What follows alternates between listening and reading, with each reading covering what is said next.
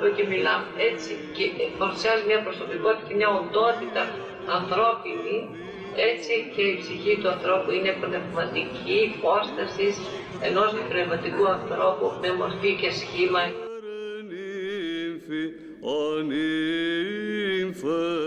Είναι αυτός ο άνθρωπος που είναι μέσα στο σώμα και είναι ο πραγματικός ε, η κινητήριος δύναμης που εκφράζεται και εξωτερικά ο άνθρωπος.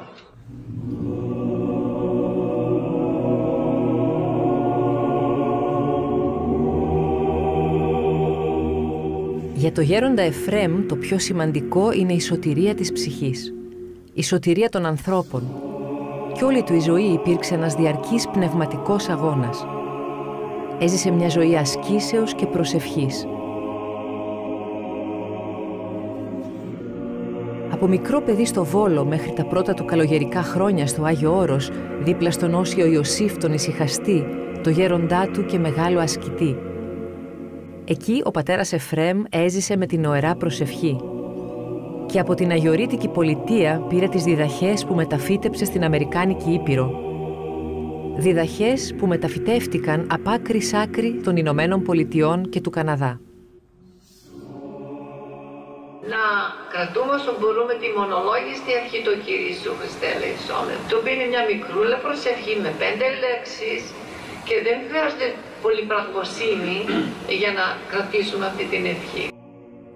Κύριε Ιησού Χριστέ Λεϊσόμε, Κύριε Ιησού Χριστέ Λεϊσόμε, Κύριε Ιησού Χριστέ, ελέησόν με. Κύριε Ιησού Χριστέ, ελέησόν με. Αυτή την ευχή ήταν που άκουσε και στην πρώτη επίσκεψή του στο Άγιο Όρος ο σημερινός ηγούμενος της Μονής Φιλοθέου Νικόδημος. Ήταν το 1982 όταν επισκέφθηκε το μοναστήρι και συνάντησε για πρώτη φορά το γέροντα Εφρέμ, ηγούμενο τότε της Ιεράς Μονής. Εγώ όταν πρωτοπήγα το 82 στο Φιλοθέο έπαθα ένα σοκ.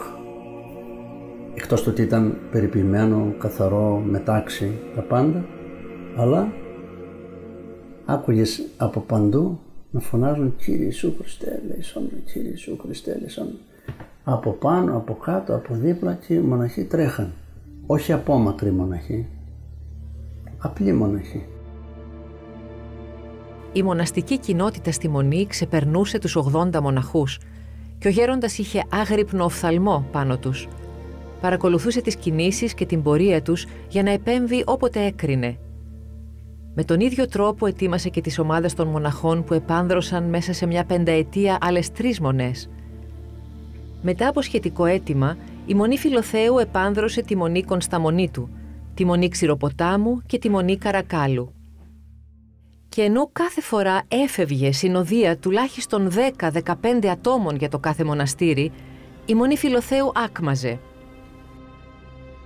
Στο πρόσωπο του Γέροντα δεν έβλεπες αυτά που βλέπαμε μέχρι εκείνη τη στιγμή στον κόσμο, αλλά κάτι άλλο, κάτι υπερκόσμιο, κάτι καινούριο. Και αυτή η επαφή φυσικά πολύ μας κατένιξε. Ο Γέροντας ήταν πρότυπο ασκήσεως όταν το γνωρίσαμε. Ήταν όλα αυτά που δίδασκε, ήταν αυτός ο πρώτος που τα έκανε πράξη και μετά τα έλεγε και από μικρό παιδί ο Πάτερ Εφρέμ ζητούσε με την προσευχή του να του δείξει ο Θεός ποιο ήταν το θέλημά του.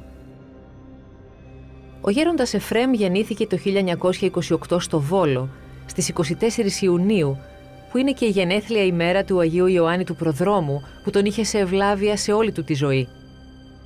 Εκείνη την εποχή, ο Βόλος είχε αναδειχθεί το πρώτο λιμάνι στην Ελλάδα σε εξαγωγές καπνών η πόλη σταδιακά μεταμορφώνεται σε βιομηχανικό κέντρο.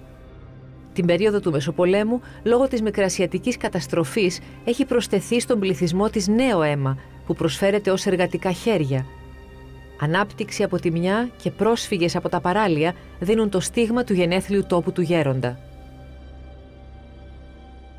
Το κοσμικό του όνομα είναι Ιωάννης Μωραΐτης και ήταν το μεσαίο από τα τρία αγόρια της οικογένειας.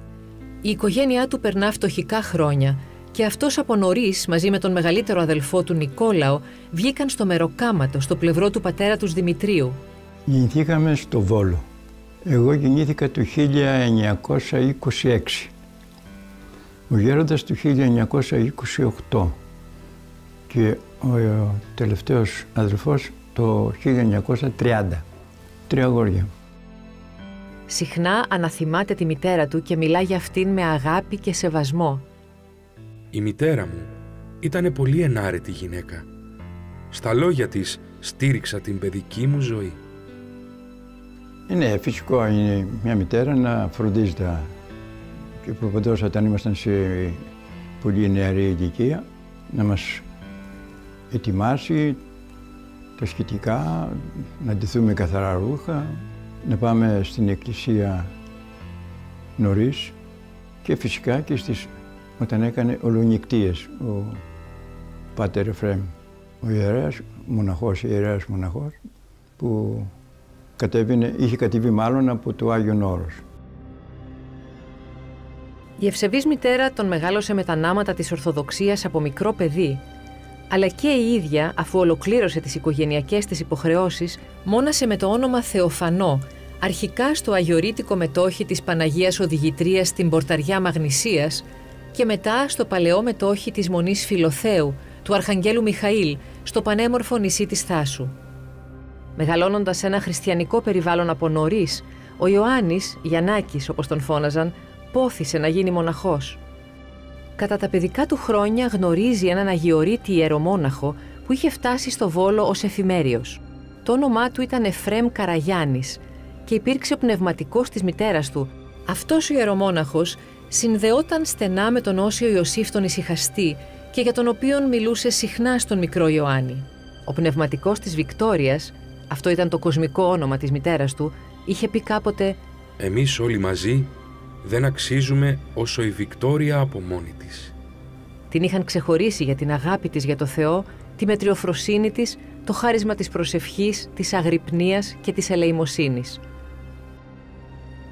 Επειδή ήμασταν πάντα στην εκκλησία, ήταν κατά κάποιο τρόπο, η μητέρα ήταν ολιγόλογη, δίχως ερωτήσεις, δίχως απαντήσεις. Ό,τι έλεγε το εννοούσε και έπρεπε να γίνει. Και φυσικά ήμασταν παιδιά, μικρά, την αταξία θα την κάναμε οπωσδήποτε, όπως όλα τα παιδιά, και λιγότερο γέροντας. Δηλαδή ήταν πιο, πιο απόλυτος, απόλυτα υπάκουος, ναι.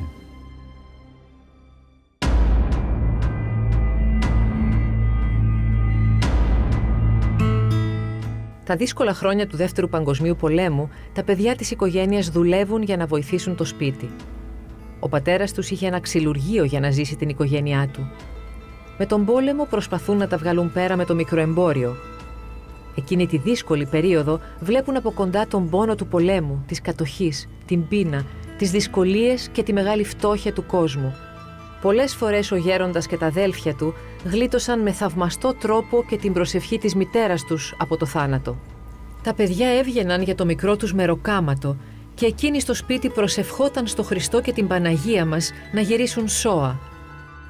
Όταν ήμουν παιδί, στα χρόνια τα δύσκολα από το 40 και μετά, εργαζόμουν σκληρά διότι ήταν τα χρόνια τέτοια και ο Θεός με βοηθούσε με τη δουλίτσα τη μικρή να, να ζω την οικογένεια παρότι είχα πατέρα, είχα αδέλφια αλλά δεν ξέρω πώς βρέθηκα να πρωτοπορώ στο θέμα της δουλειάς, της μέρημνας και σε αυτά τα δύσκολα χρόνια να φυτοζωεί η οικογένειά μας.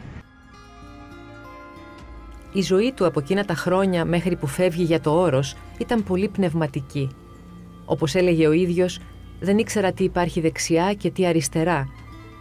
Και ήταν η μητέρα του και η υπακοή που έκανε στη θέλησή της, σύμφωνα με αφήγησή του, ο λόγος που δεν αστόχησε στο ποιον γέροντα να αναζητήσει στο Άγιο Όρος. Ήμασταν μικροπολιτέ.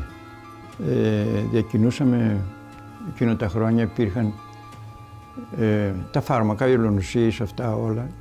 Και ήταν κάτι το οποίο ήταν κατά κάποιο τρόπο ε, εμπορευόμασταν τα φάρμακα.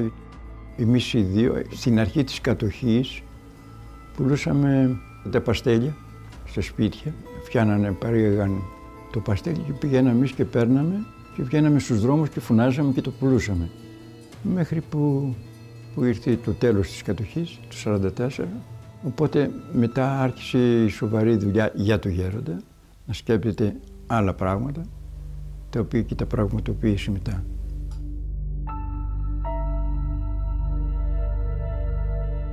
Και έφτασε η ώρα, το ημερολόγιο έγραφε 26 Σεπτεμβρίου του 1947 και ο νεαρός Ιωάννης ξεκινά για το Άγιο Όρος.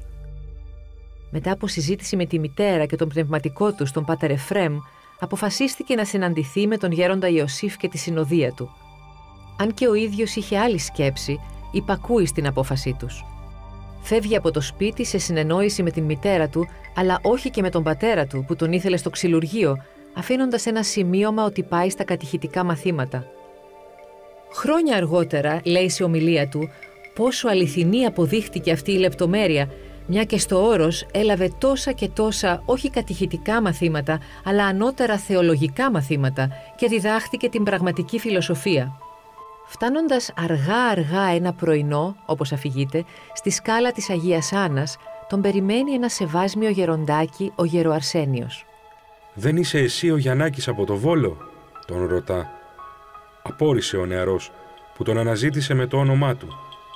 «Ναι, αλλά πώς με ξέρετε» Ο γέροντας Ιωσήφ το πληροφορήθηκε από τον τίμιο πρόδρομο. Του εμφανίστηκε απόψε και του είπε «Σου φέρνω ένα προβατάκι, βάλε το στη μάντρα σου». Το ίδιο βράδυ ο νεαρός Ιωάννης στο εκκλησάκι του τιμίου προδρόμου που είναι λαξευμένο μέσα στη σπηλιά έβαλε τη μετάνοια της υποταγής του. Εκεί, μέσα στο παραμικρό εκείνο φως, γνώρισε η ψυχή μου με το δικό της τρόπο τη φωτεινή φυσιογνωμία του Αγίου Γέροντά μου. Θυμάται ο γέροντας Εφρέμ. Ο γέροντας Ιωσήφ τον δέχθηκε στην αδελφότητά του.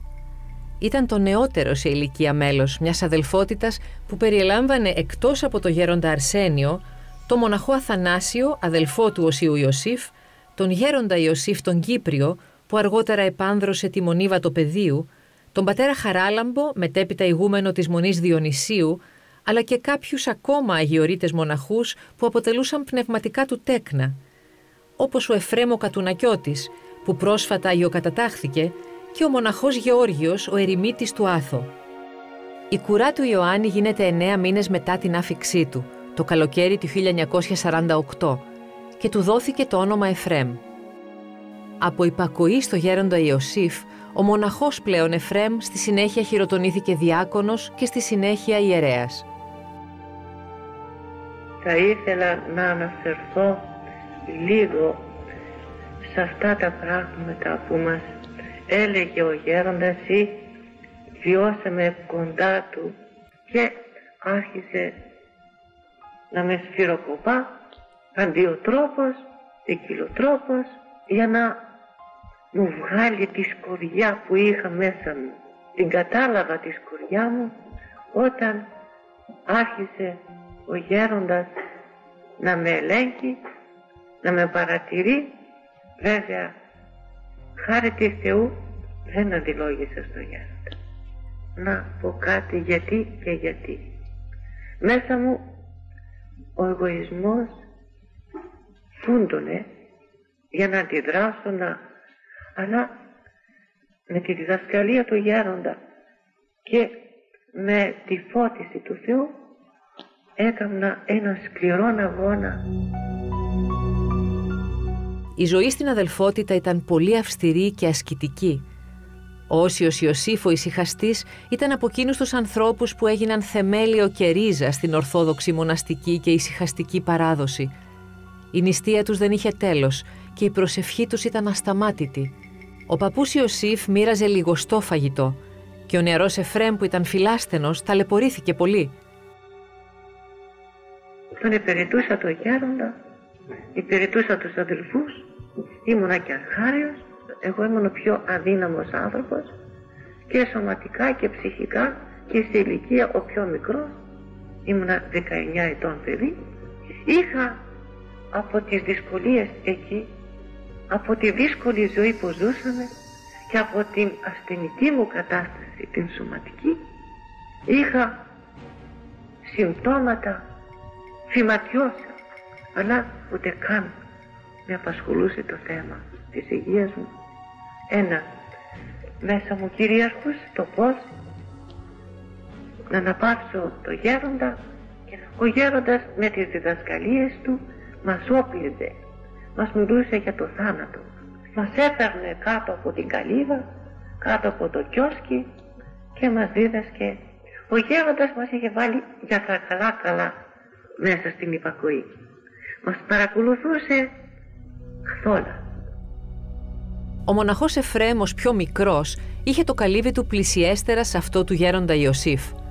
Όπως έλεγε, πήγαινε να του πει κάποιες νύχτες στην αγρυπνία τους λογισμούς του και ο παππούς Ιωσήφ τον νουθετούσε από τις προσωπικές του εμπειρίες και από τη ζωή των αγιοριτών Αγίων Ασκητών. Μας έλεγε ο γέροντας ότι όταν ο υποτακτικός αναπαύσει το γέροντά του, ανέπαυσε το Θεό. Ο γέροντας δεν αναπαύεται στο ότι ο υποτακτικός του κάνει την καταδιαγώνιμα υπακοή, αλλά τον αναπαύει κυρίως με τη ζωή του, την πνευματική. Με αυτή τη διδαχή, ο μοναχός Εφρέμ ζει για 12 χρόνια δίπλα στο γέροντά του και την υπόλοιπη συνοδεία. Διδάσκεται να προσέχει τους λογισμούς, τα πάθη. Μαθαίνει πώς να βλέπει από πού έρχεται ένα πρόβλημα και πώς να το θεραπεύει. Παρακολουθεί το πρόγραμμά του με ευλάβεια και άκρατη υπακοή. Προσεύχεται νυχθημερών και παλεύει για την καθαρότητα του νόος. Λαμβάνει σπουδαία πνευματική μόρφωση και άσκηση. Ο ίδιος ο Όσιος Ιωσήφ γράφει σε επιστολή του το Νοέμβριο του 1949. Ο πατήρ Εφρέμ έλαβεν χάρη ως ουδείς άλλων των ημερών μου, να τον φυλάξει ο Κύριος, κάμνη τέλειαν υπακοήν.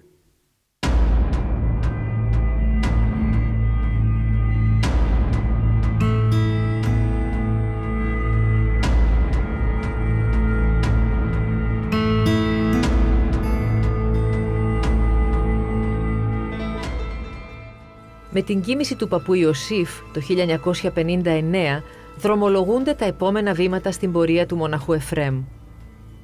Ο Όσιος Ιωσήφ έχει δώσει σαφείς εντολές στη συνοδεία του.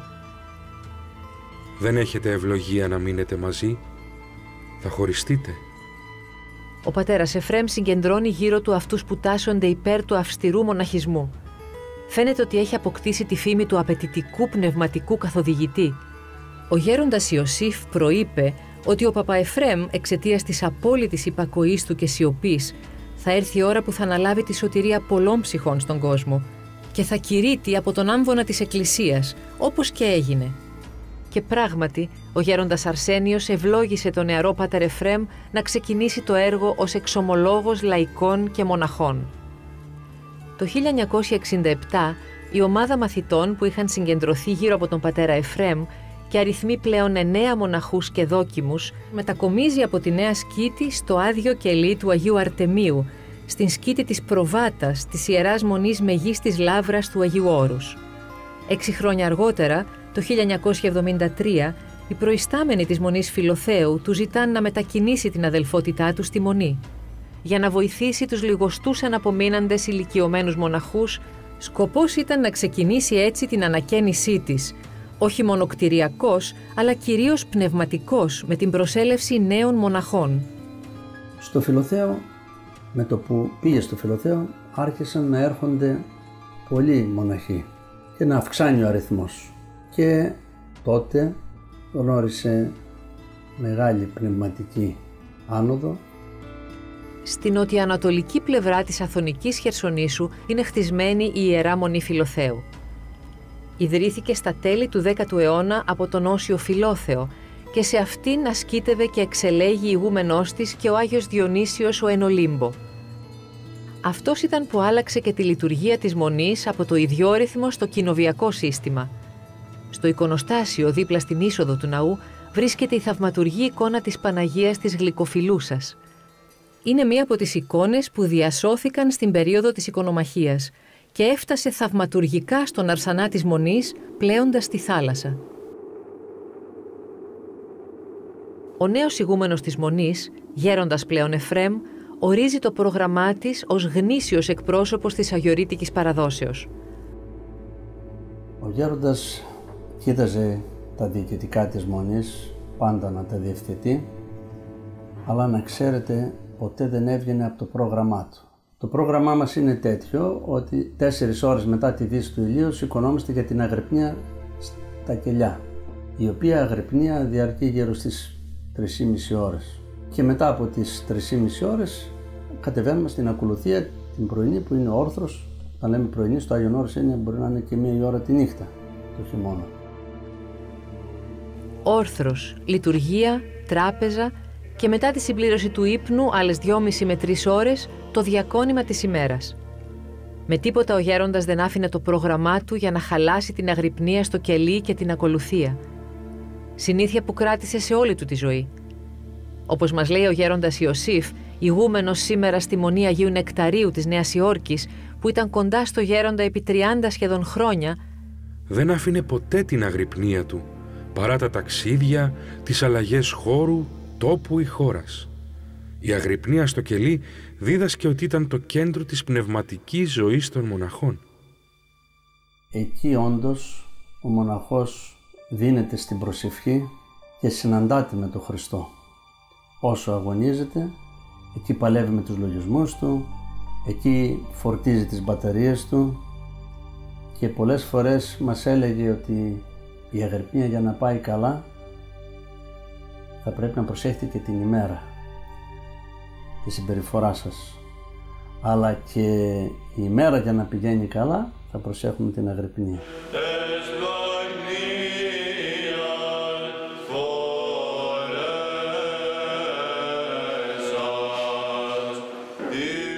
Την υπακοή σαν βάση, έλεγε ο γέροντας, ως πρώτο μάθημα στους μοναχούς και μοναχές. Και αυτή η χάρη της υπακοής φέρει την οερά προσευχή, την ευχή που προέτρεπε να λένε δυνατά για να διώχνουν τους λογισμούς. Και το δεύτερο όπλο που συνιστούσε ήταν η αυτομεμψία. Όταν επιμένουμε σε αυτά τα δύο, προσέθεται, στην ευχή και στην αυτομεμψία, σιγά σιγά βλέποντας τον αγώνα μας, ο Χριστός μας στέλνει τη χάρη Του και φυσικά αρχίζουμε σιγά σιγά και τα πιστεύουμε, τα αισθανόμαστε. Καθώς η μοναστική κλίση γινόταν όλο και πιο αποδεκτή στην Ελλάδα, ο Πάτερ Εφρέμ βοήθησε και το γυναικείο μοναχισμό. Αρκετές μονές ιδρύθηκαν και λειτουργήσαν υπό την πνευματική του καθοδήγηση. Τα τρία πρώτα αποδείχθηκαν καθοριστική σημασίας για τα μοναστήρια που ίδρυσε στη Βόρειο Αμερική. Όταν έγινε ηγούμενος, δημιούργησε το μετόχι της Μονής στην πορταριά του Πηλίου στο όνομα της Παναγίας Οδηγήτριας, με επικεφαλή στην μακαριστή και Αγία Γερόντισσα Μακρίνα. Πολλές φορές στο παρεκκλήσι όταν λειτουργούσε εκεί στην Πορταριά, σε ένα παρεκκλήσι που λειτουργούσε ο Γέροντας, έτυχε κατά τη διάρκεια της λειτουργίας να γεμίσει ευωδία όλο το παρεκκλήσι και σταμάτησε ο Γέροντας, τους είπε ότι αυτή τη στιγμή η ίδια η Παναγία είναι παρούσα εδώ. Αλλά αυτό επανελήφθηκε κι άλλες φορές. Ζούσαμε πολύ ζωντανά τη χάρη είχαν την ωραία προσευχή, την υπακοή, ο γέροντας τις μοναχές τις ονόμαζε μυροφόρες, διότι όπως ο Χριστός μετά την Ανάσταση φανερώθηκε πρώτας στις γυναίκες και μετά στους άντρες, έτσι και οι μοναχές ήταν πιο δοσμένες στον πνευματικό αγώνα, στην αγάπη για τον Χριστό από τους μοναχούς.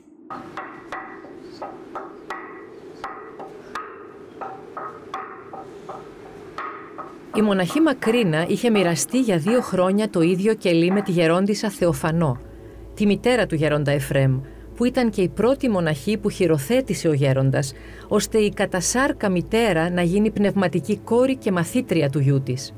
Το δεύτερο ήταν αυτό της Μονής του Αρχαγγέλου Μιχαήλ στη Θάσο, παλαιό μετόχη της Μονής Φιλοθέου από το 1280, όπου μετακόμισε αργότερα και έζησε μέχρι τέλους και εκοιμήθη πλήρης ημερών 96 ετών η κατασάρκα μητέρα του Γερόντισσα Θεοφανό. Από αυτά τα δύο μοναστήρια σιγά σιγά επανδρώθηκαν άλλες μονές εδώ στην Ελλάδα Μονή Τιμίου Προδρόμου, Σερών, Μονή Τιμίου Προδρόμου, Ναούσης, την Ελασσόνα, δύο και στις Σέρες άλλα και αλλαχού της Ελλάδος. Σιγά σιγά από αυτά τα γυναικεία μοναστήρια μεταφυτεύτηκε το πνεύμα του γυναικείου Ορθόδοξου Μοναχισμού και στις Ηνωμένες Πολιτείες. Στην αρχή οι επισκέψεις του γέροντα στην Αμερική ήταν για λίγες μέρες, αλλά κάθε χρόνο η παραμονή του παρατηνόταν όλο και περισσότερο. Θυμάται η γερόντισα Ολυμπιάδα, ηγουμένη της Ιεράς Μονής Αγίας Σκέπης στην Πενσιλβάνια των Ηνωμένων Πολιτειών Αμερικής. Σε όλο αυτό το διάστημα η προσευχή του ήταν έντονη και έμπονη, να δείξει ο Θεός το θέλημά του. Ακόμα και όταν ο ίδιος είχε λάβει την πληροφορία ότι αυτό είναι το σχέδιο του Θεού για να βοηθήσει το λαό του στη μακρινή αυτή χώρα, ζητούσε ταπεινά και από άλλους φωτισμένους πατέρες την επιβεβαίωση. Κάποια στιγμή μας προσκαλεί να έρθουμε μικρές συνοδείες δύο-τριών ατόμων σε κάθε τόπο για να ξεκινήσουν τα μοναστήρια. Και ο ίδιος ακούραστα, ιδιαίτερα τα πρώτα χρόνια, να μας στηρίζει με την παρουσία του και τις ευχές του, ώστε να ξεπερνιούνται και να ελαφρύνουν οι δυσκολίες που φυσικά παρουσιάζει κάθε καινούριο ξεκίνημα. Θυμάται τα λόγια του γέροντα τα πρώτα δύσκολα χρόνια. Να μην καταλάβεις τι περνάς. Αυτό προσευχόταν με θέρμη στο Χριστό μας ο γέροντας Εφρέμ για τους μοναχούς και τις μοναχές που απετέλεσαν τη μαγιά της Αμερικής, αναφερόμενος στις δυσκολίες που συναντούσαν. Σε ένα τόπο με άλλη γλώσσα, άλλους νόμους, συχνά με δυσκολίες από την επίσημη εκκλησία, χωρίς πόρους. Όμως, όπως περιγράφουν οι πατέρες, όταν ο γέροντας Εφρέμ έπαιρνε την πληροφορία και ξεκινούσε να δημιουργηθεί ένα νέο μοναστήρι, συγκέντρωνε την αδελφότητα και μιλούσε με τέτοιο τρόπο που δημιουργούσε τη λαχτάρα να είναι πρώτη στον αγώνα της πνευματικής αναγέννησης της Αμερικής, χώρα στην οποία κινδύνευε να χαθεί το ορθόδοξο φρόνημα θέση που εξέφρασαν δεκαετίες πριν δύο κορυφαίοι ορθόδοξοι θεολόγοι καθηγητές του 20ου αιώνα. Τόσο ο προθιερέας Γεώργιος Φλωρόφσκι, όσο και ο πρωτοπρεσβύτερος πατέρας Ιωάννης Ρωμανίδης, οι οποίοι σε μελέτες και επιστολές τους περιγράφουν την κατάσταση όπως την έζησαν. Αντιμετώπισε, όπως είναι φυσικό, πολλαπλούς πολέμους, διότι αυτό διάβολο φυσικά είναι δυνατόν να πας σε ένα μέρος το οποίο δεν υπήρχε κάτι έτσι ζωντανό πνευματικό κατά τον μεγάλο θεολόγο τον πατέρα Ιωάννη Ρωμανίδη το ορθόδοξο φρόνημα στην Αμερική είχε χαθεί. Είχε μεγάλες επιρροές η Εκκλησία από τους Ρωμαιοκαθολικούς και τους Προτεστάντες. Και χρειαζόταν μία τονοτική ένεση τόσο δυνατή που να μπορέσει να ξεκολλήσει από όλα αυτά τα αρρωστημένα φρονήματα και να ξαναμπεί το ορθόδοξο φρόνημα στην Εκκλησία της Αμερικής.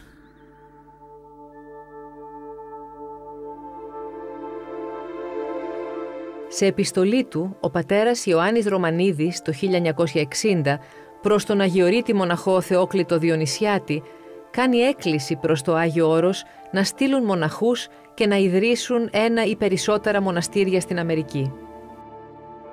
Τα χρόνια εκείνα, όπως καταλάβαμε όταν ήρθαμε και εγκατασταθήκαμε πια εδώ, μας λέει η γερόντισα Μελάνη, ηγουμένη στη Μονή Αγίου Ιωάννου Χρυσοστόμου στο Σικάγο, υπήρχε ο κίνδυνος ότι η Ορθοδοξία θα μεταβάλλονταν σε κάτι άλλο. Η ίδια γνώρισε τον γέροντα Εφρέμ από το θείο της, μακαριστό γέροντα Πανάρετο Μακρυγιάννη τον Φιλοθεήτη, σε πολύ νεαρή ηλικία. Ήταν στην αρχή της δεκαετίας του 70, η εποχή που ο γέροντας Εφρέμ είχε γίνει πνευματικός πατέρας 11 μοναστηριών σε όλο το Άγιο Όρος και την υπόλοιπη Ελλάδα. Το ημερολόγιο γράφει 1979 και ο γέροντας αναζητώντας ιατρική βοήθεια μετά από ένα ατύχημα που προετών είχε υποστεί στο πόδι του, φτάνει στη Βόρειο Αμερική για θεραπεία. Αν και το ταξίδι ξεκινά για ιατρικούς και όχι ιεραποστολικούς λόγους, σημαίνει πρακτικά την εκκίνηση του θείου σχεδίου. Ως νέος πατροκοσμάς με το φωτισμό και την καθοδήγηση, όπως απεδείχθη του Αγίου Πνεύματος, ξεκινά να μεταλαμπαδεύσει το αγιορείτικο φως στη Μητρόπολη της εκοσμικευμένης Δύσης. Στη διάρκεια της επίσκεψής του με την άδεια και ευλογία του τότε Επισκόπου του Τορόντο και τώρα Αρχιεπισκόπου Καναδά κ. Σωτηρίου, στο Λόντον του Οντάριο, στο Μόντρεαλ, στο Τορόντο και στο Βανκούβερ προς αναζήτηση της ιατρικής βοήθειας, συναντά πιστούς της Ελληνοορθόδοξης Εκκλησίας του Καναδά. Κατάγουμε από το Καναδά, την επαρχία του Οντάριο, Λόντον είναι η πολιτεία. Είναι η πολιτεία που ο Γέροντας Εφραίμ ήρθε πρώτα στον Καναδά. Εγώ τον γνώρισα στις αρχές του 90 Στις αρχές του 90 για πρώτη φορά επισκέφτηκα ένα σπίτι γνωστού, ο οποίος ήταν εκεί ο γέροντας το βράδυ. Ήρθα στον Καναδά 22 χρονών. Ε, εντάξει, νέο στην Ελλάδα μετά το στρατιωτικό δεν είχαν πολλά εκκλησία. Εντάξει, στην εκκλησία πηγαίναμε την Κυριακή, αλλά αυτό και μόνο. Τώρα μετά σιγά σιγά με τον γέροντα που ήρθε και ξεμολογηθήκαμε, μας είπε ορισμένα πράγματα, ακούσαμε, είδαμε διαφορετικά α, τη ζωή, και όλα. Και γίναμε, όχι τι γίναμε, ακόμα προσπαθούμε να γίνουμε καλύτεροι, δεν καταφέρνουμε και πολύ καλά, αλλά τουλάχιστον μας έβαλε κάποιο προορισμό στη ζωή. Ο γέροντας μας έσωσε εδώ στην Αμερική, εμένα προσωπικά και, και πολύ κόσμο που βλέπω. Έχω γνωρίσει πάρα πολύ κόσμο εδώ στην Αμερική στα μοναστήρια γιατί μου αρέσει να ταξιδεύω σε όλα τα μοναστήρια. Ο γέροντας Εφρέμ είχε το προορατικό, το ιαματικό και το διορατικό χάρισμα. Χαρίσματα που δεν φανέρωνε παρά για το καλό του κόσμου και πάντα με διάκριση. Πολλές οι διηγήσεις για το πώς προείπε σε λαϊκούς και μοναχούς που πήγαν να εξομολογηθούν τη ζωή τους. Χρόνο με το χρόνο, πολλοί ζήτησαν την ώρα της ασθενείας τους στη βοήθειά του και πολλοί είδαν να γίνονται θαυματουργικά καλά, ανατρέποντας συχνά τις ιατρικές γνωματεύσεις. Αλλά και σε στιγμές μεγάλης απόγνωσης βρήκαν παρηγοριά και στήριξη. Τον Γέροντα τον γνώρισα το 1990 στον Καναδά και ήταν η πιο μεγάλη ευλογία στη ζωή μου αυτή η γνωριμία. Αφηγείται με μεγάλη συγκίνηση την παρέμβαση του Γέροντα όταν το 1999 χάνονται τα ίχνη της νεαρής κόρης της σε τουριστικό ταξίδι στη Νότιο Αφρική. Ήταν πέντε μέρες χωρίς νέα, την αναζητούσε η αστυνομία, δεν είχε μιλήσει με το Γέροντα. Δευτέρα βράδυ, την πέμπτη μέρα, χτυπάει το τηλέφωνο και ήταν ο Γέροντας. Το κορίτσι σου είναι καλά, όλα τα παιδιά έτσι κάνουνε. Να προσεύχεσαι στην Παναγία και στον Αρχάγγελο Μιχαήλ την άλλη μέρα, τρίτη πρωί, 6 και 25, χτυπάει το τηλέφωνο και με παίρνει και μου λέει ήρθαν οι φίλοι μου και με πήραν από το αεροδρόμιο και δεν χρειάστηκα τα χρήματα. Είχαμε πάει πολύ μακριά σε μια ακρογιαλιά με μεγάλο Σαββατοκύριακο τέσσερα ημερών, τα πάντα κλειστά, δεν είχα μιλήσει και γι' αυτό δεν σε πήρα και πήρα την τρίτη το πρωί. Η παρουσία του γέροντα Εφρέμ ήδη από την πρώτη φορά άρχισε να κινητοποιεί τον κόσμο. Γέμισαν εκκλησίες και σπίτια για να τον ακούσουν και ο ίδιος φαίνεται ότι κατάλαβε πως θα επέστρεφε στη Βόρειο Αμερική για να συγκεντρώσει αυτό το πίμνιο.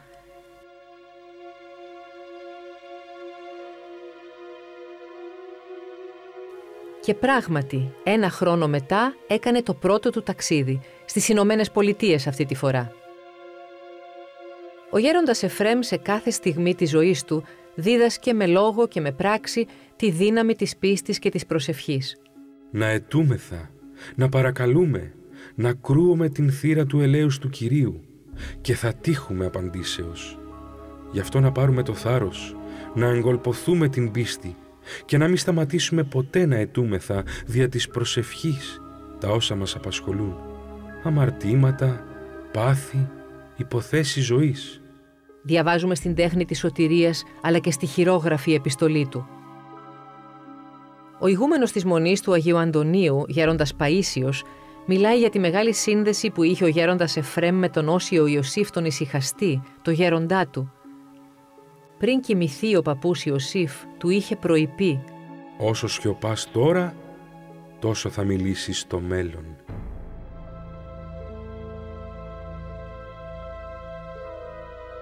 Ο Πάτερ Εφρέμ επισκεπτόταν από μια δεκαετία τη Βόρεια Αμερική.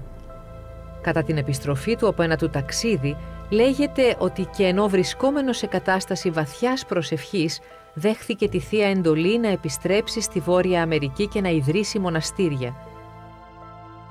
Έργο που επετέλεσε μέχρι την κοίμησή του το Δεκέμβριο του 2019 με αγνότητα και απλότητα, με παρησία στην προσευχή, με απέραντη υπομονή, με βαθιά πίστη στη Θεία Πρόνοια και τη βοήθεια του Πανάγαθου Θεού, με εμπιστοσύνη στον άνθρωπο που ποθεί τη σωτηρία της ψυχής του, αλλά και με απόλυτη προσήλωση στις παραδόσεις της ελληνορθοδόξου χριστιανικής πίστης. Η προσωπικότητα του γέροντα Εφρέμ θα γραφθεί στην ιστορία της Ορθοδοξίας γενικότερα στις Ηνωμένες Πολιτείες με χρυσά γράμματα. Εάν δει κανείς την πορεία της Ορθοδοξίας στην Αμερική. Ήταν μια πορεία και εξακολουθεί να είναι μια πορεία λαμπρή. Αλλά έλειπε κάτι σε αυτήν την πορεία. Έλειπε η μοναστική εμπειρία. Έλειπε η πνευματικότητα ενός μοναστηριού.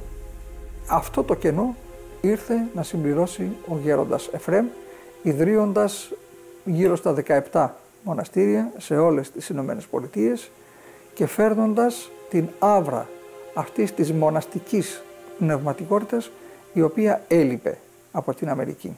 Όπως ξέρετε στην Ορθόδοξη Εκκλησία υπάρχουν πολλά είδη πνευματικότητας, ε, πολλά είδη ε, λειτουργικού βίου, υπάρχει ο ενοριακός λειτουργικός βίος, υπάρχει ο μοναστικός, επομένως ε, το να έχει κανείς μόνο το ένα στοιχείο από τα δύο στην εκκλησιαστική ζωή μιας γεωγραφικής περιφέρειας είναι ελλειπές. Η παρουσία του μοναστηριού μας είναι ένας φάρος του Ορθοδόξου μοναχισμού μας κάθε μοναστήρι είναι και ένα φυλάκιο του Θεού και, ένα, και μια παρουσία ε, αγιοπατερική. Το κάθε μοναστήρι εκεί που βρίσκεται δημιουργημένο και φτιαγμένο ε, ευλογεί το μέρος όλο, τον κόσμο όλο, ειρηνεύει και το μέρος όλο. Φεύγουν τα δαιμόνια, έρχονται άγγελοι, αλλά και με τη δουλειά την πνευματική που παρέχει, που δίνει, βοηθάει τους χριστιανούς μας να περπατήσουν σωστότερα τον δρόμο της σωτηρίας. Είναι ένα πνευματικό καταφύγιο που καταφεύγει κάθε ψυχή που θέλει να σωθεί, που θέλει να παρηγορηθεί, που θέλει να ζωογονηθεί, που θέλει να φωτιστεί. Αν και ο Πάτερ Εφρέμ στην αρχή ήταν διστακτικός, όπως και έπρεπε να είναι, η διαπίστωση της μεγάλης ανάγκης που υπήρχε στο πίμνιο της Αμερικής του έδωσε τη δύναμη να ξεκινήσει ένα έργο που από μόνο του είναι ένα θαύμα. Έργο που αντιμετώπισε μεγάλες δυσκολίες από νωρίς, σχεδόν σε κάθε μονή που ξεκινούσε να δημιουργήσει, αντιμετώπιζε πολλαπλούς πολέμους, όπως μας λέει ο γέροντας Νικόδημος. Οπότε κάποια στιγμή, όπως πήγαινε ερχόταν στην Αμερική, μας ζήτησε και πήρε την κάρα του παππού Ιωσήφ που την είχε, τη φυλασσόταν στο κελί του μέχρι εκείνη τη στιγμή, στο Φιλοθέο.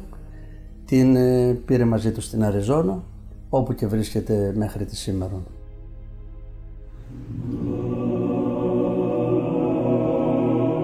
Όπως εξηγεί, είχε πνευματική ένωση με τον Όσιο Ιωσήφ και πολλές φορές έπαιρνε την απάντηση που είχε ανάγκη μετά από προσευχή μπροστά στα λείψανα του γέροντός του, όπως κάνουμε όλοι όταν προσκυνούμε τα Άγια λείψανα των Αγίων μας και τους ζητούμε παρηγοριά και καθοδήγηση για τα θέματα που μας απασχολούν. Ασφαλώς με την εμφάνιση ε, του Ορθόδοξου μοναχισμού εδώ στην Αμερική εταράχθησαν τα ύδατα. Ήταν κάτι το καινούριο μεγάλα πλήθη και πάρα πολλοί κόσμος αγκάλιασαν με μεγάλη αγάπη και δίψα αυτήν την πνευματικότητα ε, και τον μοναχισμό αλλά υπήρξε και κάποια ανησυχία ε, από άλλα ε, τμήματα της Εκκλησίας ότι τι είναι αυτό το άγνωστο που έρχεται τώρα, πώς θα επηρεάσει την ενοριακή ζωή, θα γίνονται και εκεί μυστήρια, δεν θα γίνονται εκεί μυστήρια, πού θα πηγαίνουν οι δωρεές, πού θα εκκλησιάζονται οι πιστοί μας, μήπως αυτό εξασθενήσει τον ενοριακό βίο και διάφορα άλλα τα οποία είναι ανθρώπινα, είναι φυσιολογικά και δεν είναι πρωτόγνωρα στην εκκλησιαστική πραγματικότητα. Εν μέσω δυσκολιών, πειρασμών και επιθέσεων, το 1989 ιδρύεται το πρώτο μοναστήρι στη Βόρειο Αμερική, στο Σάξομπεργκ της Πενσιλβάνια, με την ευλογία του τότε επισκόπου και αργότερα Μητροπολίτη Μάξιμου. Γυναικείο μοναστήρι αφιερωμένο στη γέννηση της Θεοτόκου, κατοικείται αρχικά από μικρή ομάδα μοναχών που ήρθαν από τη μονή της οδηγήτριας στην Πορταριά. Ένα χρόνο αργότερα, έχοντας σχεδιάσει τη δημιουργία και άλλων μονών, παρετείται από την ηγουμενία της Μονής Φιλοθέου. Συνεχίζει όμως να είναι ο πνευματικός πατέρας των μοναστηριών του, τόσο στο Άγιο Όρος, όσο και στις οκτώ γυναικείες μονές σε άλλα μέρη της Ελλάδας. Το 1993, μέσα σε ένα χρόνο, ο πατέρας Εφρέμ ιδρύει τέσσερα μοναστήρια. Το ένα από αυτά βρίσκεται στην πόλη Weatherly της Πενσιλβάνιας, στα βουνά Πόκονος. Εκεί εγκαθίστανται η γερόντισα Ολυμπιάδα και η αδελφή Χρυσοβαλάντου από το μοναστήρι του Αρχαγγέλου της Θάσου. Εκεί αγοράζεται αρχικά ένα μικρό αγρόκτημα και αρχίζει να λειτουργεί το μοναστήρι. Καθώς αυξάνει η αδελφότητα και οι προσκυνητές, ο χώρος δεν επαρκεί και αναγκαστικά αναζητούμε ένα μεγαλύτερο κτήμα να μεταφερθούμε. Τον καιρό αυτό βιώνουμε ένα θαύμα της πρόνοιας του Θεού διευχών του γέροντα σε όλη τη διαδικασία της αγοράς και της ανέγερσης της νέας μονής. Αυτός μας προέτρεψε για την αγορά του συγκεκριμένου κτήματος και πρόβλεψε με λεπτομέρειες τα της αγοράς του. Να σημειώσουμε ότι στο κτήμα αυτό πριν 100 χρόνια λειτουργούσε μεγάλο νοσοκομείο και σανατόριο για όλη την ευρύτερη περιοχή. Η τοποθεσία του που βρίσκεται δύο ώρες από τα γύρω αστικά κέντρα όπως Νέα Υόρκη, Φιλαδέλφια, Νιου Τζέρσι ήταν ιδανική ώστε να είναι προσιτό το μοναστήρι από πολλούς χριστιανούς που από την πρώτη μέρα το αγκάλιασαν με ενθουσιασμό και βρήκαν εδώ ένα τόπο προσευχής, γαλήνης και ηρεμίας. Η νέα μονή βρίσκεται σε ένα κατάφυτο ύψωμα της περιοχής και ένας λευκός σταυρός, ορατός καθώς πλησιάζει στο μοναστήρι από μακριά, τοποθετείται στην κορυφή κατόπιν προτροπής του γέροντα. Και στη συνέχεια, μαζί βέβαια με πολλή προσπάθεια των αδελφών, οι ευχές του και πρωτίστως η καθημερινή φροντίδα της Παναγίας μας κάνουν τα αδύνατα δυνατά και το 2006 η αδελφότητα εγκαθίσταται στη νέα τοποθεσία όπου βρίσκεται σήμερα. Ο ναός των Αποστόλων Πέτρου και Παύλου, όπου γίνονται οι καθημερινές ακολουθίες, ολοκληρώνεται και αγιογραφείται –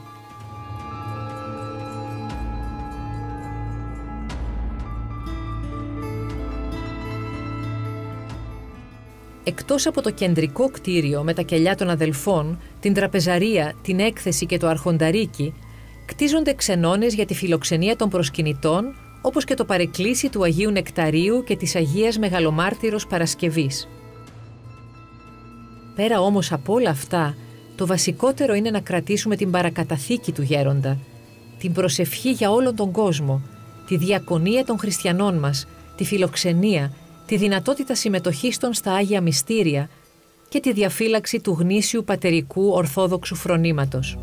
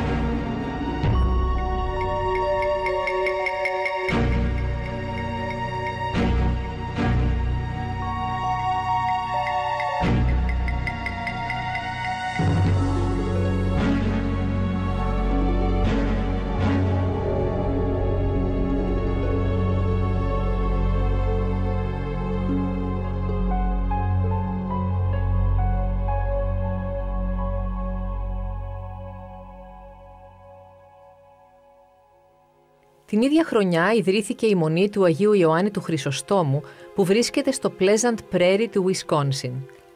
Και πάλι η ηγουμένη, η γερόντισα Μελάνη, η αδελφή Βριένη και δύο-τρεις ακόμα στην αρχή μοναχές ήρθαν από την Ελλάδα για το σκοπό αυτό.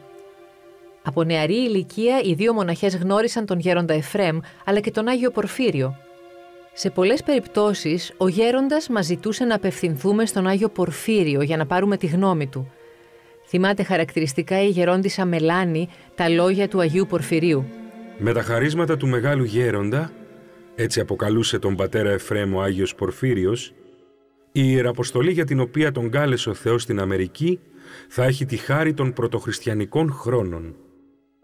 Είναι πολύ ανώτερη αποστολή αυτή, γιατί η Αμερική ζει την ψευδέστηση ότι γνωρίζει την Εκκλησία, έχει την πνευματική αυτάρκεια, ενώ η Αφρική γνωρίζει την άγνοιά της.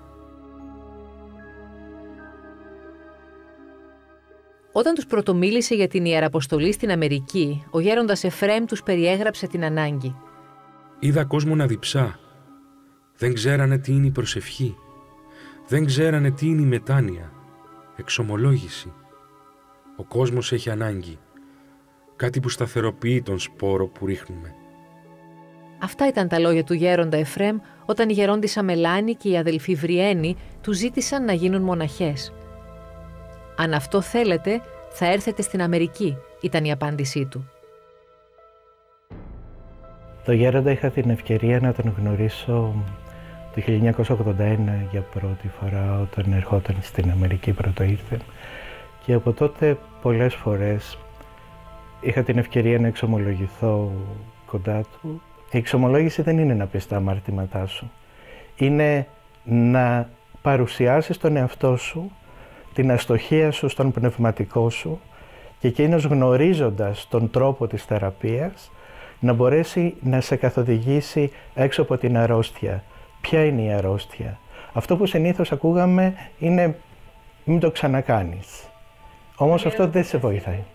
Ο γέροντας είπε βεβαίως και θα μπορείς να, να πέσεις όχι μόνο σε αυτό, αλλά σε ακόμα μεγαλύτερα. Συμπληρώνει ο ίδιος ότι ο γέροντας ήταν για την Αμερική ένα ζωντανό Ευαγγέλιο. Μπορούσες μέσα από τη ζωή του, από το βίωμα που είχες μαζί του, να καταλάβεις τα λόγια του Ευαγγελίου. Να καταλάβεις τα λόγια του Ευαγγελίου, να καταλάβεις την ουσία της Ορθοδοξίας, να μάθεις τον πνευματικό τρόπο ζωής και να το δεις στην πράξη, να τον βλέπεις στην πράξη, σε κάθε του βλέμμα, σε κάθε του κίνηση, σε κάθε σκέψη που έκανε που ήταν μόνο για το καλό των άλλων ανθρώπων.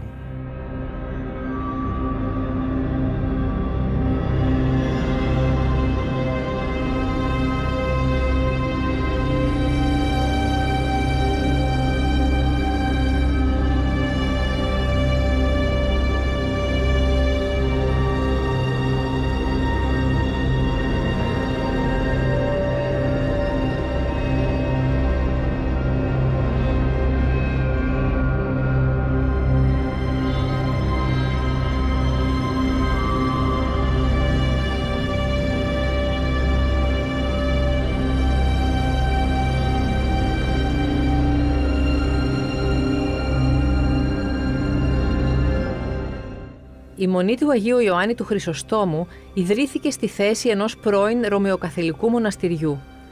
Βρίσκεται λίγο έξω από δύο μητροπολιτικές περιοχές ανάμεσα από το Μιλγουόκι και το Σικάγο, πόλη με μεγάλη ελληνική κοινότητα. Εδώ επελέγει, και κοντά και μακριά.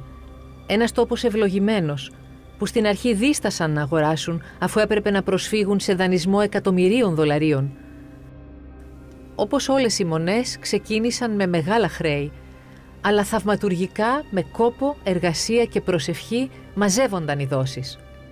Την ονομασία της Ιεράς Μονής έδωσε ο μακαριστός Μητροπολίτης Σικάγου Ιάκωβος, ο οποίος έτρεφε μια ιδιαίτερη αγάπη προς τον Άγιο Ιωάννη το Χρυσόστομο και τη Μονή, στην οποία ζήτησε και να θαυτεί.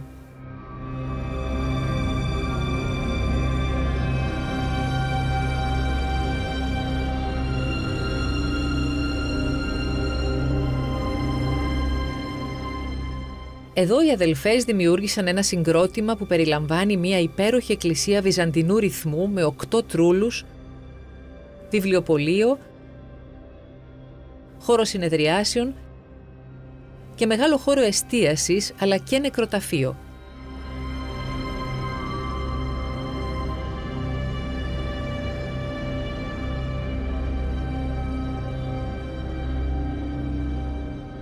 Με κλειστό διάδρομο ενώνεται η εκκλησία με τα κελιά των μοναχών. Καθημερινά υποδέχεται πιστούς από τις κοντινές πόλεις. Βοηθάνε με κάθε τρόπο τις ανθρώπινες ψυχές, όπως ο γέροντας τις δίδαξε. Με συμμετοχή στα μυστήρια, με καθοδήγηση για εξομολόγηση και μετάνοια, με παρηγορητικούς λόγους, αλλά και προσευχή για τον καθένα, ως πράξη χριστιανικής αγάπης. Ήταν το τέλος 93-94 και ήμασταν στο σπίτι και η, γυναίκα μου η Σοφία μου λέει έχει θεί ένας Άγιος ηρομόναχος από το Άγιο Όρος. Δεν πάμε να τον δούμε. Μένα ποτέ μου το είπε. Δεν ήθελα τόσο πολύ να πάω, να, να, πω την αλήθεια, αλλά έκανα την πακοή και πήγα μαζί της. Στο πήγαμε σε ένα σπίτι μια κυρίας και εκεί πότε μπήκαμε μέσα, ήμασταν σε ένα σαλόνι.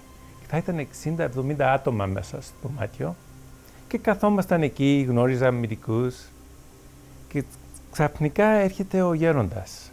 Και τον βλέπουμε και ο γέροντας είναι ένας κουντούλης με μια πολύ αλαφρή φωνή.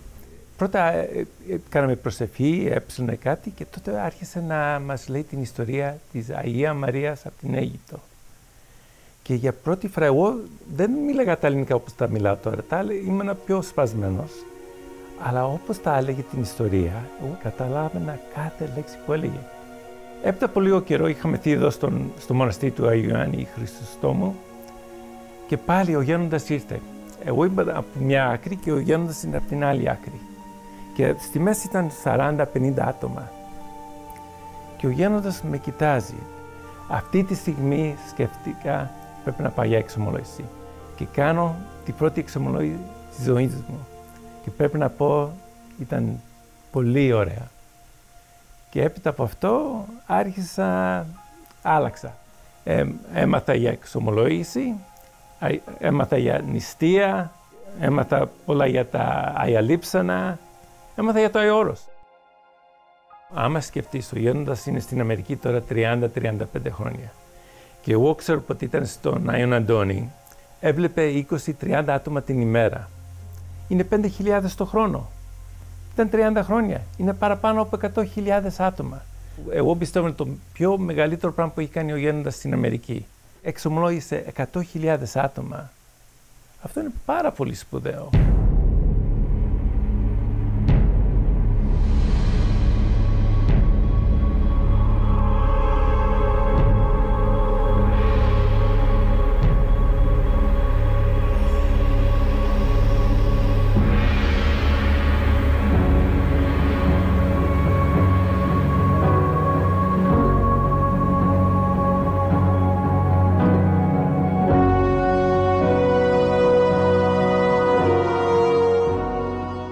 Μεγάλη έγνοια του γέροντα Εφρέμ να σωθούν οι ψυχές των πνευματικών του παιδιών, των μοναχών, των λαϊκών, όσων εξομολογούσε.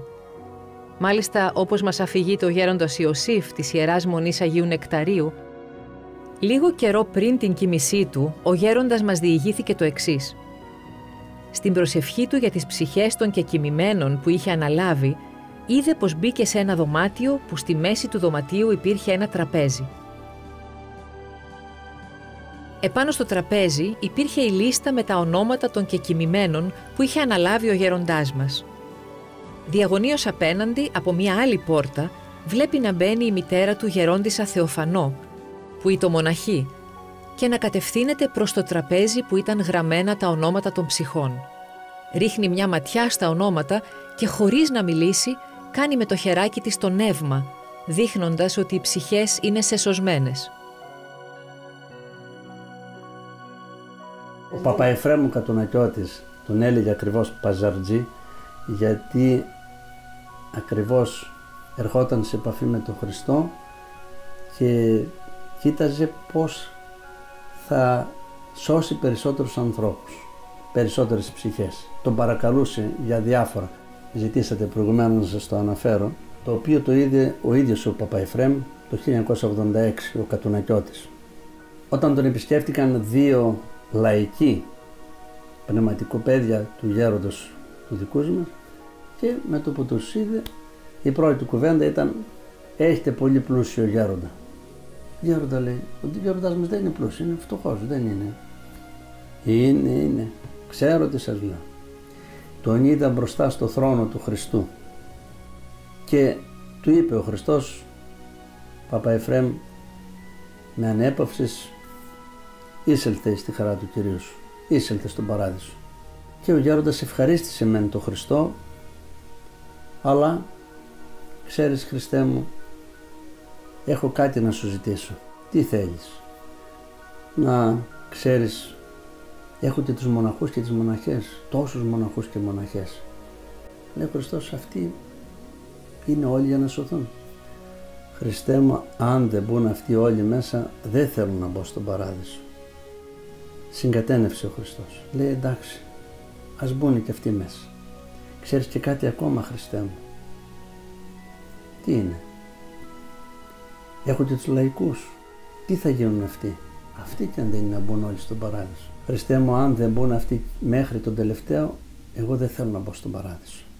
Και ο Χριστός τελικά συγκατένευσε να μπουν και αυτοί στον παράδεισο.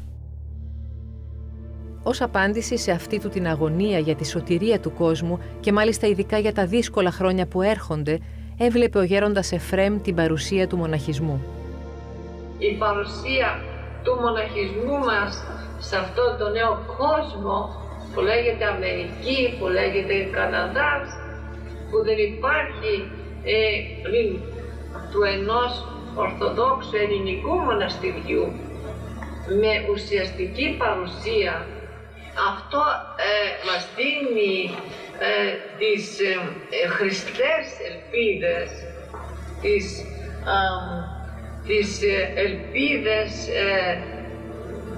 αυτές που θα δώσουν ζωή, θα δώσουν φως, που θα δώσουν σωτηρία στον κόσμο εδώ. Αυτό να αποτελέσει προζήμη που θα ζυμωθεί όλος ο χώρος αυτός του νέου κόσμου με μοναστήρια, με φάρους, με ορθόδοξα στέκια, με οάσεις πνευματικές που οι χριστιανοί μας να τρέχουν κατά τόπους, να τρέφονται, να ποτίζονται, να δροσίζονται, να, να σώνονται, διότι περιμένουμε την νέα εποχή που σημαίνει εποχή Αντιχρίστου.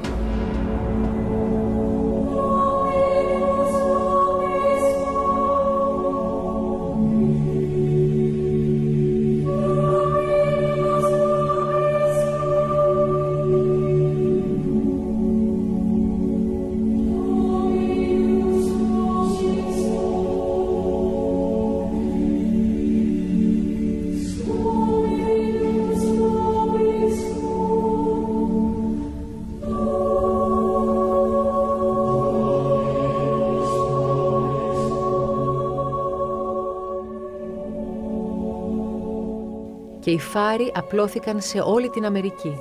Ο γέροντας Εφρέμ ίδρυσε 19 μοναστήρια, τα επτά εξ αυτών ανδρικά σκορπισμένα από την Αριζόνα και το Τέξας μέχρι τη Φλόριντα, το Μίσιγκαν, τη Βόρεια Καρολίνα, τη Νέα Υόρκη και το Ιλινόι. Οι γυναικείες μονές των Ηνωμένων Πολιτειών Αμερικής βρίσκονται στην Πενσιλβανία, στο Ουισκόνσιν, στην Καλιφόρνια, στη Ουάσιγκτον, στη Φλόριντα, στη Βόρεια Καρολίνα, στο Τέξας, αλλά και στον Καναδά, στο Τορόντο και στο Μόντρεαλ. Διευχών των Αγίων Πετέρων ημών, Κύριε Ιησού Χριστέ ο Θεός, ελέησον και σώσον ημάς. Σε όλες τις μονές οι ακολουθίες και οι αναγνώσεις στην τράπεζα γίνονται αποκλειστικά στα ελληνικά. Όλοι οι μοναχοί πρέπει να μάθουν ελληνικά, αν και προφανώς υπάρχουν διαφορετικά επίπεδα γνώσης της γλώσσας. Με τη βοήθεια του Θεού επέδειξε μια απίστευτη ικανότητα να επιλέγει άνδρες και γυναίκες με τις απαραίτητες πνευματικές και ηγετικές ικανότητες, ώστε να γίνονται αποτελεσματικοί ηγούμενοι και ηγούμενες. Έσπηρε οδοδείκτες σε μια απέραντη γεωγραφική έκταση, πάνω από 4.500 χιλιόμετρα από Ανατολή προς Δύση και 2.200 χιλιόμετρα από τα βόρεια προς τα νότια, και μάλιστα σε έκταση που έχει μια μεγάλη ποικιλία σε κλίματα, πολιτισμούς, ακόμη και γλώσσες, ισπανικά στα νότια και γαλλικά στο Κεμπέκ. Νομίζω όμως ότι μετά από 30 χρόνια συνύπαρξης έχουν ε, ισορροπήσει τα πράγματα, ε, είναι όλοι πεπισμένοι ότι ε, δεν υπάρχει χώρος για ανταγωνισμό μεταξύ ενορίας και μοναστηριού είναι συμφιλειωμένα, είναι αγαπημένα, ε, πορεύονται παράλληλα και πηγαίνουμε όλοι μαζί στην Βασιλεία των Ουρανών. Και υπάρχουν πολλοί δρόμοι, υπάρχει ο δρόμος του μοναχισμού, υπάρχει ο δρόμος της ιεροσύνης, υπάρχει ο δρόμος του λαϊκού, του εγγάμου, του αγάμου. Όλοι οι δρόμοι, εφόσον είναι εντός της Εκκλησίας, μας οδηγούν στη Βασιλεία των Ουρανών. Και γι' αυτό μετά από αυτήν την σύντομη έτσι, αξιολόγηση ε, της ε, προσφοράς του γέροντα Εφρέμ στην ορθόδοξη πνευματικότητα στην Αμερική, μπορώ να σας πω με βεβαιότητα ότι ο γέροντας Εφρέμ είναι ο θεμελιωτής του ορθοδόξου μοναχισμού στην Αμερική.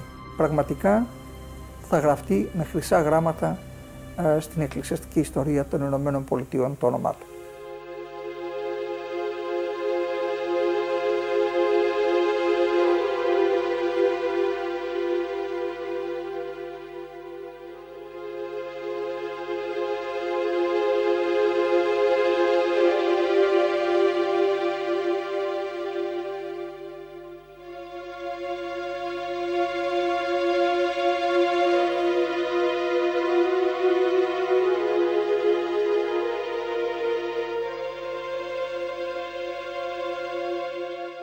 Κυρίαρχο ρόλο σε αυτήν την πορεία αποτελεί το μοναστήρι του Αγίου Αντωνίου στην Αριζόνα. Αποτέλεσε τη βάση του γέροντα Εφρέμ για τα τελευταία 25 χρόνια της ζωής του.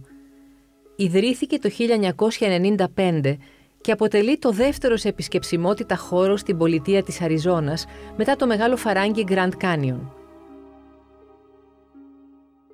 Αν το φαράγγι έχει χαρακτηριστεί ένα από τα θαύματα του κόσμου, η δημιουργία της Ιεράς Μονής του Αγίου Αντωνίου είναι ένα θαύμα από τη γέννησή της. Ο γέροντας Παΐσιος, ηγούμενος της Μονής Αγίου Αντωνίου, αγιορείτης ιερομόναχος και μέλος της ολιγομελούς συνοδείας του γέροντα, που ήρθαν στην Αριζόνα το 1995, περιγράφει την αναζήτηση του γέροντα σε ένα τόπο ζεστό και έρημο, τόπο για να χτίσει μια μεγάλη σκάλα από τη γη στον ουρανό. Το μοναστήρι κτίστηκε όπως αφηγούνται αυτόπτες μάρτυρες όπως ο μακαριστός πατήρ Αντώνιος, εφημέριος τότε στο Τουσκόν, με σημεία που έδειξε ο Θεός. Όταν ήρθε ο γέροντας, ξεκίνησαν να κοιτάνε στην έρημο της Αριζόνας κάποιες περιοχές. Στο δρόμο χάνονται και αναζητώντας σημείο να γυρίσουν, ακούνε να χτυπάνε καμπάνες.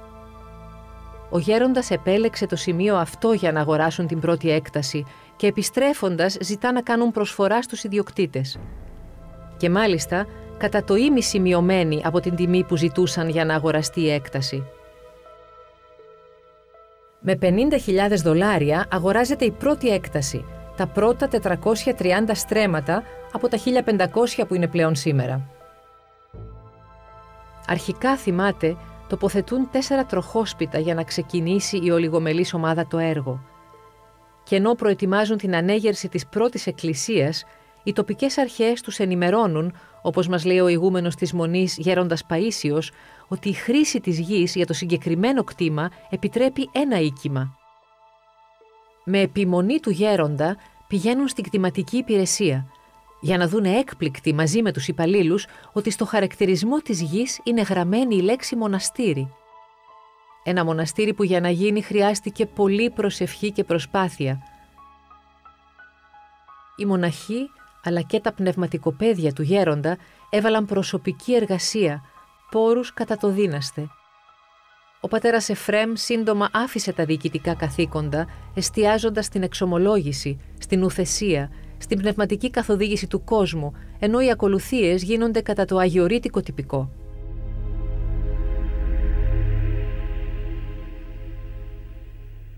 Υπάρχουν πολλά θαύματα, αμέτρητα να διηγηθούν πιστοί, προσκυνητές, αλλά και οι ίδιοι οι μοναχοί που όλα αυτά τα χρόνια έχουν δει. Και πολλά που γινόντουσαν στα διάφορα σημεία της γης. Ο Δημήτρης Κατσικλής, βολιώτης στην καταγωγή, γνώρισε το γέροντα από μωρό, αφού ήταν ο πνευματικός των γονιών του. Μετά τρία χρόνια δυσκολίας τους να τεκνοποιήσουν και τη θαυματουργή παρέμβαση του γέροντα, αποκτούν το πρώτο από τα τρία παιδιά τους. Ο ίδιος, σε συζήτηση με το γέροντα στο Άγιο Όρος, παιδάκι του Δημοτικού, τον ρωτάει πότε θα τον πάρει και αυτόν στην Αμερική. Θα σε πάρω λέει, να δούμε τους αναλοξίστε να κάνουμε πολλά. Ήρθα εδώ λοιπόν ε, Σεπτέμβριο του 1999, ε, δεν πήγα στη Δευτέρα Λυκείου, άφησα το σχολείο και έκτοτε έμεινα περίπου 4,5 χρόνια. Μ' αξίζει ο Θεός να ζήσω με τον γέροντα Εφρέμ στο ίδιο σπίτι μέσα, στο γεροντικό το οποίο το χτίσαμε. Τότε το μοναστήριο όταν ήρθα δεν ήταν τόσο μεγάλο όσο είναι τώρα. Κοπιάσαμε πάρα πολλοί πατέρες. Για λόγους υπακοής, όπως λέει, επέστρεψε στην Ελλάδα, τέλειωσε το σχολείο, τις στρατιωτικές του υποχρεώσεις, ξεκίνησε να εργάζεται, παντρεύτηκε και επέστρεψε ξανά με την οικογένειά του και τα δυο παιδιά στην Αριζόνα και εργάζεται για το ελληνικό σχολείο της περιοχής. Βιωματικά έχει ζήσει και ο ίδιος θαύματα δίπλα στο γέροντα. Παραμονή που θα έμπαινε για να χειρουργήσει μεγάλες πέτρες στα νεφρά, πηγαίνει καθ' υπόδειξη του γέροντα στο εκκλησάκι του Αγίου Παντελεήμονα να προσκυνήσει και να πιει λαδάκι από το καντήλι του Αγίου. Την επόμενη στο χειρουργείο, λίγες ώρες μετά τις τελευταίες ακτινογραφίες, οι πέτρες έχουν εξαφανιστεί. Πηγαίνουμε λοιπόν, κάνουν την επέμβαση και ο γιατρός ορολόγος ήταν μπήκε μέσα ενώ είχαν φανεί οι πέτρες μια μέρα νωρίτερα στις πλάκες, ε, δεν υπήρχαν πουθενά. Οπότε όταν ξύπνησα από την ανάρρωση και ρώτησα τον μοναχό που με συνόδευε, ε, τον πατέρα Σουλανό, πού είναι, τι έγινε, τις βγάλανε, μου λέει, άστα μου λέει, ο Γέροντας λέει το έκανε το θαύμα. Δεν βρήκαν τίποτα μέσα.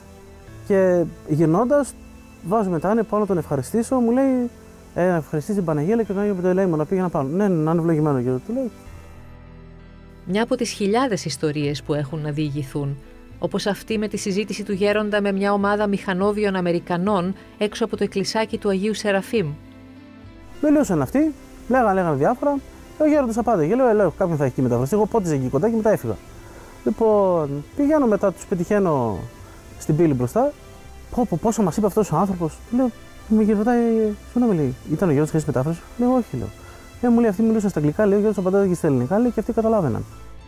Καθημερινά, ο γέροντας Εφρέμ έφευγε από το μοναστήρι και πήγαινε σε φτωχικές γειτονιές να βοηθήσει τον κόσμο. Κόσμο που δεν γνώριζε ούτε το θρήσκευμά του, ούτε την εθνικότητά του, μας λέει ο γέροντας Παίσιος. Όπως αρμονικές είναι πλέον οι σχέσεις μεταξύ των ενωριών και των μοναστηριών, ο νέος Αρχιεπίσκοπος Αμερικής Ελπιδοφόρος δήλωσε από την πρώτη στιγμή την αγάπη του στα μοναστήρια δεν ήρθα μόνο ως Αρχιεπίσκοπος. Ήρθα και ως ηγούμενος. Ηγούμενος της Πατριαρχικής και Σταυροπηγιακής Μονής Αγίας Τριάδος Χάλκης.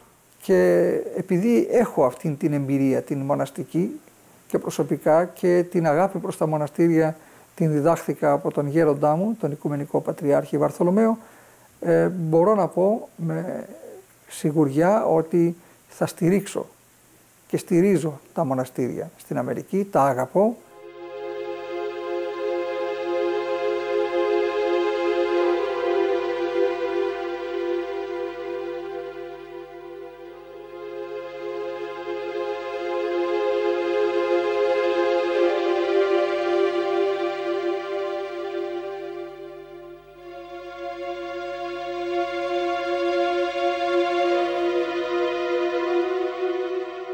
Ο γέροντας Εφρέμ εκοιμήθη το βράδυ της 7η Δεκεμβρίου στις Ηνωμένες Πολιτείες Αμερικής, πρωί της 8η Δεκεμβρίου στην Ελλάδα, το έτος 2019, κατά τη διάρκεια της Κυριακάτικης Θείας Λειτουργίας, πλήρης ημερών, σε ηλικία 91 ετών. Όλη την προηγούμενη μέρα ήταν διαυγής, όπου και κοινώνησε των αχράντων μυστηρίων. Όπως είπαν οι μοναχοί που ήταν η ακίμητη συνοδεία του τα τελευταία χρόνια, ο γέροντας έφυγε όρθιος και προσευχόμενος. Έτσι παρέδωσε το πνεύμα του. Κεφάλαιο άλικτο για όσους τον γνώρισαν, είτε όσο έζησε, αλλά και για αυτούς που τον μαθαίνουν τώρα. Θα συνεχίσουμε να το ανακαλύπτουμε τα επόμενα χρόνια, αφού τόσο περισσότερο καταγεγραμμένες και προφορικές μαρτυρίες θα έρχονται στο φως. Αλλά και η μεσητεία του από τον Παράδεισο, βάλσαμο και βοήθεια είναι για όλους μας, για όλο τον κόσμο. Αν και έχουν περάσει μόλις τρεις μήνες από την κοίμησή του, όπως μας είπε ο γέροντας Παΐσιος, υπάρχουν ήδη μαρτυρίες πιστών που τους βοήθησε μετά την κοίμησή του. Ο καλύτερος λόγος για ένα γέροντα του ειδικού σου αναστήματος είναι, νομίζω, η σιωπή, η αγάπη, ο σεβασμός, η προσευχή. Κύριε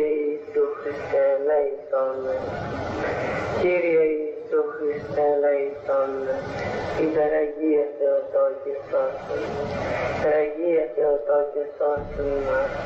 Υπεραγία Θεοτόκη σώσον μας.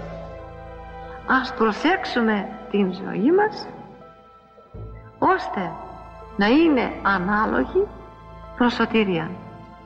Και σε κάθε αμάρτημά μας και σε κάθε παραστράτηση αμέσως αυτομάτως να στρέφουμε το νου και τον λόγο και τον προφορικό και τον ενδιάθετο εις το να υπούμε Θεέ μου ήμαρτον συγχώρεσε έσφαλα.